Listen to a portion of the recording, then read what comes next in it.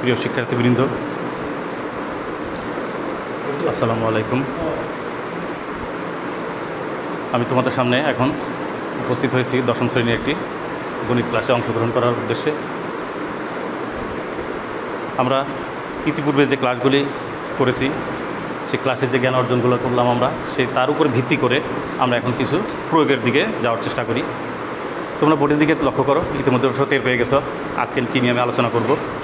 আমি এখানে দশম শ্রেণির অনুশ্রেণী আট দশমিক দুইয়ের চার নম্বর প্রশ্নটা নিয়ে একটু তোমাদের সঙ্গে আলোচনা করব। তোমরা অবশ্যই মনোযোগ সহকারে বোঝার চেষ্টা করবে। এখানে একটু লক্ষ্য করে দেখো, চিত্রটার দিকে একটু নজর দাও।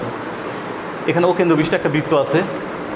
বৃত্তের ভিতরে একটা চতুর্ভুজ অন্তর্লিখিত হয়ে গেছে এ বি সি ডি এখানে ও বি এবং ও ডি এটা মার্কিং করা হয়েছে। এটা হচ্ছে বৃত্তের ব্যাসার্ধ। বৃত্তের ব্যাসার্ধ। আর একটা বিষয় একটু খেয়াল করো এখানে। এসি এবং বিডি এই যে এখানে যে চতুর্ভুজটা অঙ্কিত হয়েছে, সেই চতুর্ভুজের দুটি কর্ণ যারা ছেদ করেছে পরস্পর এই বিন্দুতে।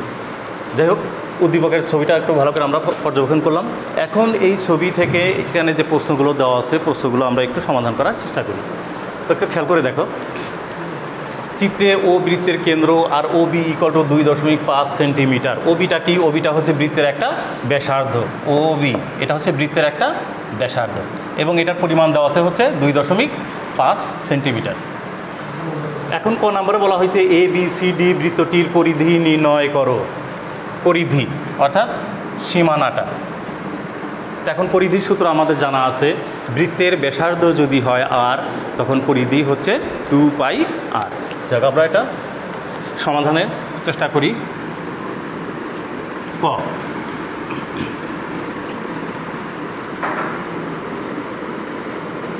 এখানে বৃত্তের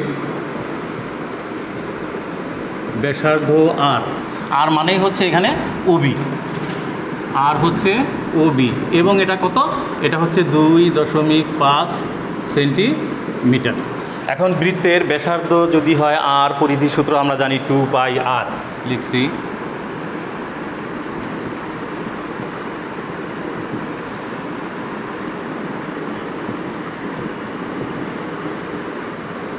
two pi r centimetre equal to two পায়ের মানটা আমরা সকলে জানি। Three point one four one six into হলো আর আর মানে এখানে কত দেওয়া আছে? দুই দশমিক পাঁচ এটা প্রয়োগ করে দিই। দুই দশমিক পাঁচ সেন্টিমিটার ইকুয়াল টু এখন এটা তোমরা ক্যালকুলেশন করবা। প্রয়োজন মেশিন ব্যবহার করবা। মেশিন ব্যবহার করার পরে যা উত্তর আসে সেটাই আমাদের আমি এটা তোমাদের জন্য রেখে দিলাম। এই কাজটা তোমরা নিজেরা করবে। ক্লিয়ার তাহলে বৃত্তের এখানে ওবি দেওয়া ছিল দুই দশমিক পাঁচ সেন্টিমিটার। ওবি মানেই হলো বৃত্তের ব্যাসার্ধ। আর বৃত্তের ব্যাসার্ধকে যদি আমরা আর দ্বারা প্রকাশ করি, তখন বৃত্তের পরিধি হয় টু পাই আর এখন এখানে টু লিখলাম। পায়ের মান সকলের আমাদের জানা আছে three point one four one six আর এখানে আর এর মান হচ্ছে দুই দশমিক পাঁচ। এখন এটা হিসাবটা তোমরা নিজেরাই করবা, তোমাদের জন্য আমি রেখে দিলাম। হিসাবটা করার পরে যা আসে সেটাই আমাদের উত্তর। ক্লিয়ার এখন ক নাম্বারটা শেষ হওয়ার পর আমরা পরবর্তী সমস্যায় যাওয়ার চেষ্টা করি। এটা বুঝে দিই।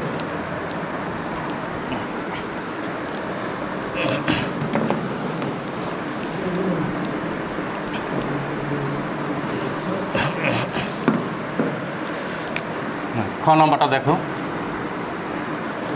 খ নাম্বারে বলা হয়েছে প্রমাণ করো যে BAD equal to half BOD এই খ নাম্বারের জন্য আমি ছবিটা আবার একটু নতুন করে করে তোমাদের দেখাই।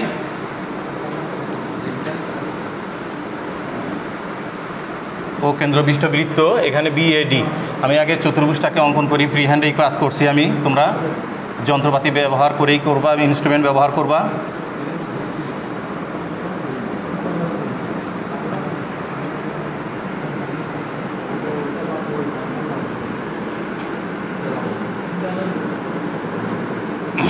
লক্ষ্য করো। এখানে বলা হয়েছে ক নম্বরে প্রমাণ করো যে B A D B A D অর্থাৎ এই কোণ, আর হচ্ছে হাফ বিওডি বিওডি হচ্ছে এই কোণ। এই বিষয়টা কিন্তু আমরা পূর্বের ক্লাসে আলোচনা করেছিলাম এবং তোমাদের একটা বাড়ির কাজ হিসাবে দিয়েছিলাম। অর্থাৎ এখানে বিষয়টা কি আসতেছে? বৃত্তের বিসিডি চাপের উপর দণ্ডায়মান, এটা হচ্ছে বৃত্তস্থ কোণ আর এটা হচ্ছে কেন্দ্রস্থ কোণ। অর্থাৎ বৃত্তস্থ কোণ হলো কেন্দ্রস্থ কোণের অর্ধেক। যেহেতু এই বিষয়টা নিয়ে আমি পূর্বে তোমাদের সঙ্গে আলোচনা করেছি, সুতরাং এখন আর আমি সময় নষ্ট করব না। এটা তোমরা নিজেরাই করে নিবে। ক্লিয়ার তোমাদের উপরে দায়িত্ব রয়ে গেল, তোমরা নিজেরা করে নিবে। এটা যেহেতু আগে আলোচনা হয়েছে সুতরাং আমি এখানে আর সময় নষ্ট করব না। এটা রাখলাম, এটা তোমরা নিজেরাই করবে। আমি গয়ে চলে যাচ্ছি।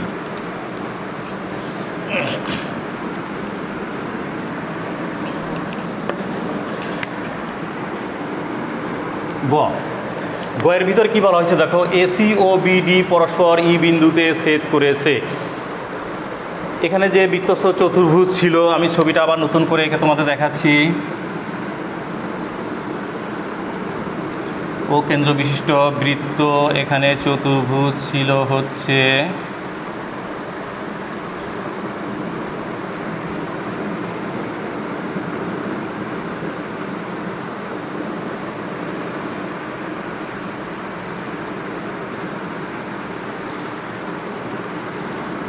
A B C D O হচ্ছে কেন্দ্র।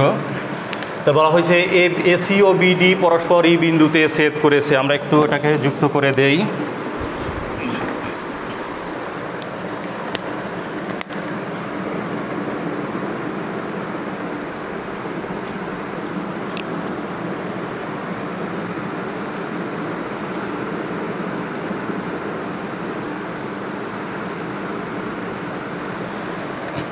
পরস্পর ছেদ করল এখানে ই বিন্দুতে। লক্ষ্য করো, এসি হলো যে বৃত্তের ভিতরে চতুর্ভুজ অঙ্কন করা হয়েছে, অর্থাৎ বৃত্তস্থ চতুর্ভুজ, তার একটি কর্ণ, আর বিডি এটা আরেকটা কর্ণ, এরা পরস্পর ছেদ করছে ই বিন্দুতে।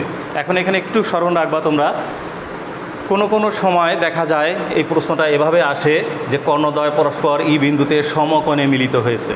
এটা সমকোণেও হতে পারে, সমকোণ ছাড়া যে কোনোভাবে হতে পারে। তো এখানে অবশ্য সমকোণের কথা উল্লেখ করা নাই, সুতরাং আমরা নর্মাল অবস্থাতেই কাজটা শেষ করার চেষ্টা করি। এই বিন্দুতে সেট করছে। এখানে প্রমাণ করতে আচ্ছা ছবিটা কমপ্লিট করি, বাকি কাজটুকু পরে বলি তোমাদের বাকি কথাটুকু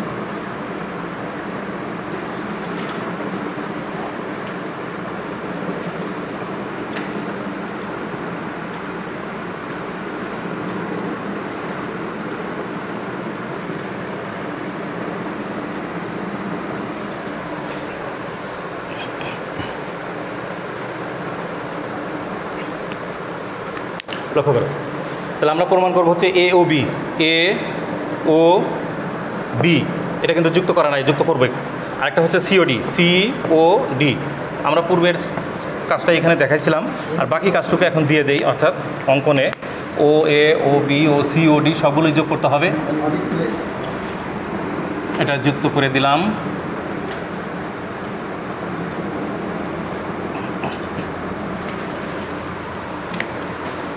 এখন একটু মনোযোগ সহকারে চেষ্টা করো। খুব মনোযোগ সহকারে খেয়াল না করলে ছবিটা একটু জটিল বলেই মনে হচ্ছে। আসলে বিষয়টা অত জটিল না, সহজ। আমি ছবিটাকে একটু ক্লিয়ার করে, পাতলা করে নতুন করে অংশ বিশেষ দেখানোর চেষ্টা করি তোমাদের। ও কেন্দ্র বিশিষ্ট বৃত্ত এখানে।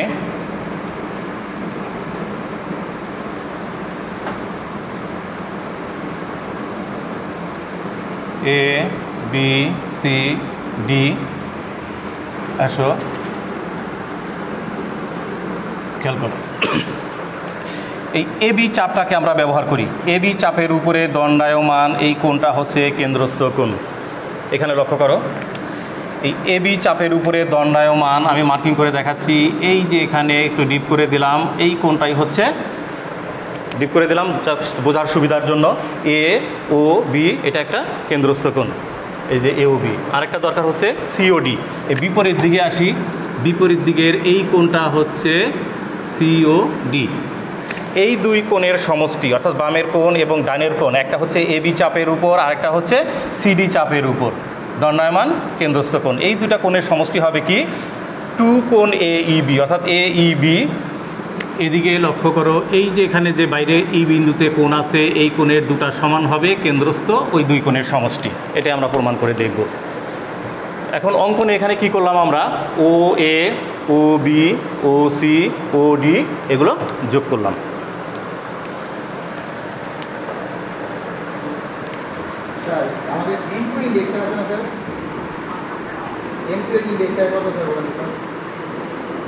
বিশেষ নির্বাচন।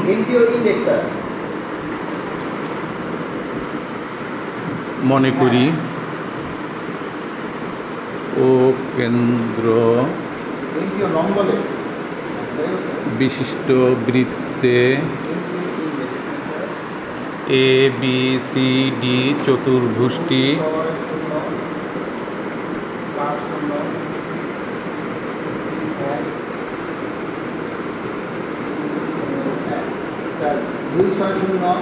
অন্তর্লিখিত হয়েছে। এবিসিডি চতুর্ভুষ্টি অন্তর্লিখিত হয়েছে। এরপরে এখানে এটা উল্লেখ করি। এ সি ও বি ডি পরস্পর ই বিন্দুতে সেট করেছে। প্রমাণ করতে হবে।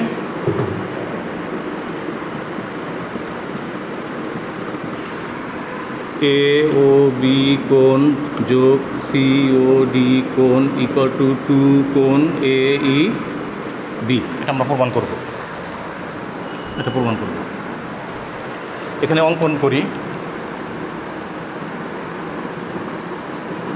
অঙ্কনে লক্ষ্য করো। O, A, O, B, O, C, O, D এগুলো যোগ করব। এরপরে আরেকটু বিষয় একটু খেয়াল করবা। করব। এবি চাপ নিয়ে যখন আমি কাজ করব এবি চাপের উপরে এইখানে দেখো, এ, ও, বি, এটা হচ্ছে কেন্দ্রস্থ কোণ। এরপরে আমি চলে যাব বৃত্তস্থ কোণে। কোণ যদি আমি এদিকে ব্যবহার করি, ডি বিন্দুতে, তাহলে এ, ডি, বি। আর যদি তুমি মনে করো যে না ডি বিন্দুতে যাবে না, যেতে হবে সি বিন্দুতে, তাহলে রাস্তা ক্লিয়ার আছে এ সি ডি অর্থাৎ এ বি চাপের উপরে দণ্ডায়মান বৃত্তস্থ কোণ ডি বিন্দুতেও আমরা নিতে পারি সি বিন্দুতে নিতে পারি। তবে খেয়াল রাখব যে কোনো একদিকে নিব। তাহলে অঙ্কনে এখানে আমরা ও কমা এ ও কমা বি ও কমা সি এবং ও কমা ডি যোগ করি। অঙ্কনের কাজ শেষ। এখন আমি প্রমাণে চলে আসব। আমার বোর্ড পুরা নিচে লিখলে তোমাদের দেখতে বা বুঝতে সমস্যা। আমি একটু উপরেরটা ব্যবহার করব, সুতরাং প্রশ্নটা এখন আর দরকার নাই। প্রশ্নটা এখানে অবশ্যই উল্লেখ করা আছে। আমি উপরেরটা একটু মুছে দিচ্ছি এখন।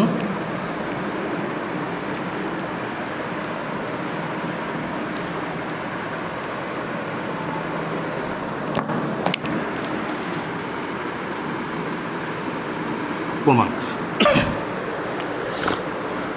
আমরা পূর্বের ক্লাসে যে জ্ঞান অর্জন করেছি, তার উপরে ভিত্তি করে এখন একটু অগ্রসর হওয়ার চেষ্টা করি। দেখো, এ, বি চাপটাকে ব্যবহার করি। এ, বি চাপের উপরে এ, ও, বি, এটা কেন্দ্রস্থ কোণ। আর যদি আমি এদিকে চলে আসি, আমি একটু বোঝার সুবিধার জন্য, বোঝার সুবিধার জন্য এখানে কালিটাকে একটু চেঞ্জ করে ভিন্নতা আনয়ন করি। এই লাল কালি ব্যবহার করতেছি।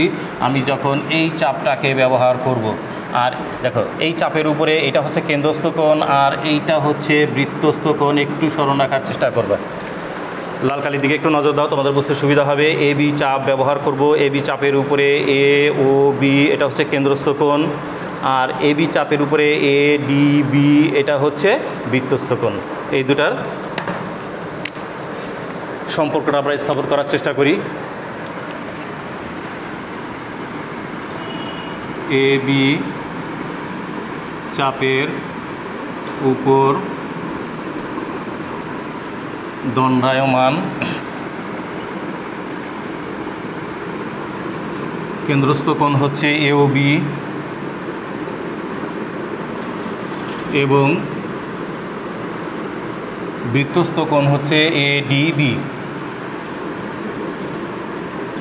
এখন এই দুটার মধ্যে সম্পর্ক আমরা জানি যে কেন্দ্রস্থ কোণ হলো বৃত্তস্থ কোণের দ্বিগুণ। তাহলে বলতে পারি সুতরাং এও বি ইকুয়াল টু হচ্ছে টু কোণ A D B AO B হচ্ছে এডিবি কোণের দ্বিগুণ। এখন তোমরা কাজের সুবিধার জন্য আমি একটু ত্রিভুজটাকে একটু মার্কিং করে দিতেছি, খেয়াল করো।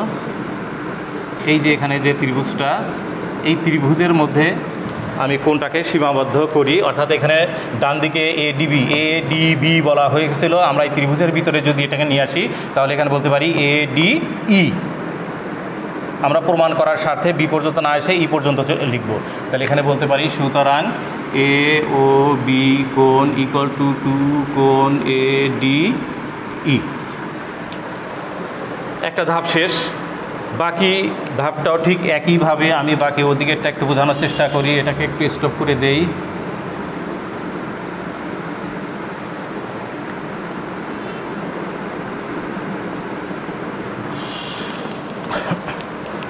এবার তোমরা এই সিডি চাপটাকে ব্যবহার করবা।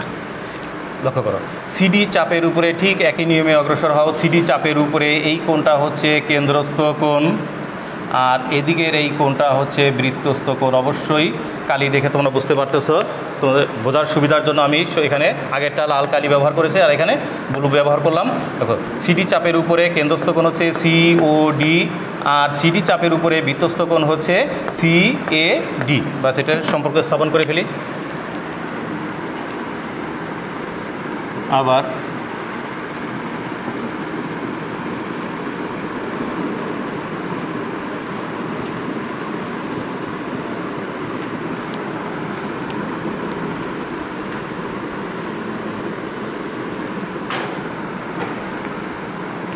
কেন্দ্রস্থ কোণ হচ্ছে সিওডি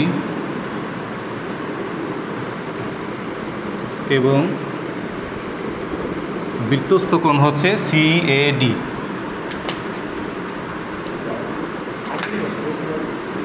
ডি এখন এদের মধ্যে সম্পর্কটা আসতেছে কি? সিওডি কোণ ইকুয়াল টু হচ্ছে টু কোণ সিএডি এবার আবার একটু খেয়াল করো। সি, এ, ডি, এই কোণটাকে, অর্থাৎ এই কোণটাকে আমরা ত্রিভুজের ভিতরে যদি সীমাবদ্ধ করি, তাহলে এখানে সি এর থেকে না বলে ই এর থেকে বলব, অর্থাৎ বলব ই, এ, ডি। তাহলে বলতে পারতেছি, সুতরাং সি, ও, ডি কোণ ইকুয়াল টু টু কোণ ই, এ, ডি। আমাদের ম্যাক্সিমাম কাজ হয়ে গেছে, খেয়াল করবা। এখন এই অংশটা আর এই অংশটাকে যুক্ত করে দিলে লক্ষ্য করো বাম দিকে আছে এও বি এটার বামে আছে সিওডি এই প্রমাণের বামের অংশটা আমরা পেয়ে যাচ্ছি। এও বি সিওডি এর প্রমাণের বামের অংশ চলে আসতেছে। এখন আমি অঙ্কনটাকে একটু মুছে ফেললাম। আমাদের এটা থাক প্রশ্নটা, বাকি কাজটুকু আমি নিচে করতেছি। বাকি কাজটা নিচে করতেছি, খেয়াল করো। এই অংশ এবং এই অংশটাকে যুক্ত যুক্ত করে ফেলি, সুতরাং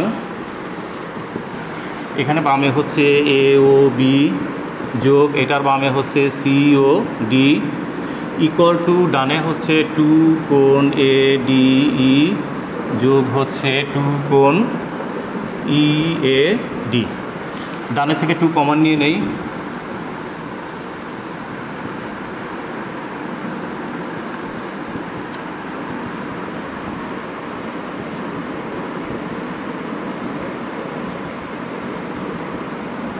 একটু কমন নিয়ে নিছি।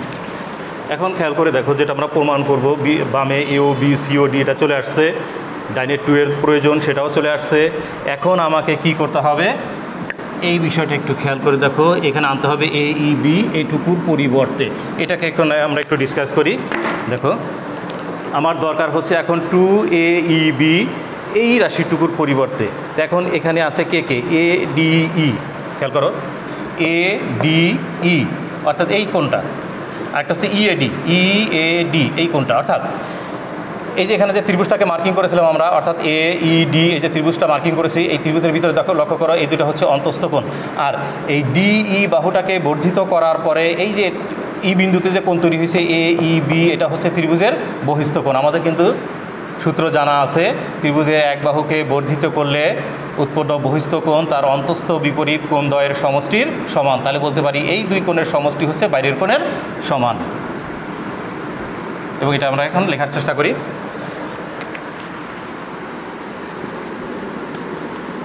কিন্তু ত্রিভুজ এ ডি, ই, এর বহিস্থ কোণ হচ্ছে এ E B A E B এই বহিস্থ কোণটা হচ্ছে অন্তস্থ বিপরীত কোণ দ্বয়ের সমষ্টির সমান। এখন অন্তস্থ বিপরীত কোণ, একটা হচ্ছে ডি বিন্দুর কোণ আর একটা হচ্ছে ই বিন্দুর কোণ। এখন ডি বিন্দুর কোণের নাম এ ডি ই এ ডি ই কোণ যোগ হচ্ছে এ বিন্দুর কোণ, অর্থাৎ ই এ ডি ডি কোণ। এবার একটু মনোযোগ সহকারে খেয়াল করো, এটা আমরা পেয়ে গেছি। এই অংশটার মান, এই যে এটার মান, এই যেটা এ ই বি এটাকে এখন ওখানে প্রয়োগ করে ফেলব। প্রয়োগ করলে আমরা বলতে পারি,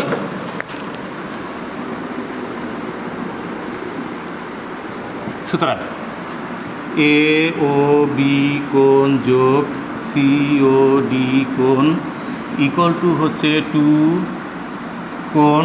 তাহলে এতটুকুর বদলে আমরা ব্যবহার করতে পারি এ E B A E B এবার এখানে একটু খেয়াল করে দেখো যেটা আমাদের প্রমাণ করার প্রয়োজন ছিল, সেটা আসছে কি না? চলে আসছে। AO B plus COD equal to two কোণ এ ই বি প্রমাণ শেষ।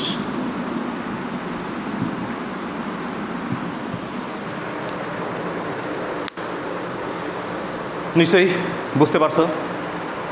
তো জ্যামিতিকে একটু মনোযোগ সহকারে বোঝার চেষ্টা করবা। আশা করি একটু মনোযোগী হলেই তোমরা সমস্যাগুলো সমাধান করতে পারবা।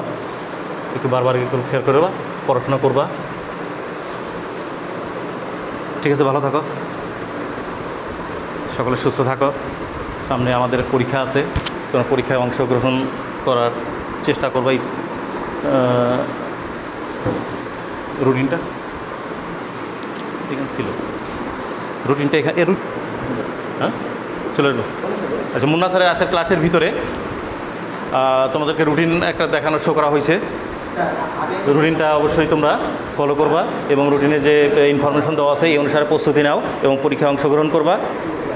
ঠিক আছে, ভালো থাকো। খোদা হাফেজ।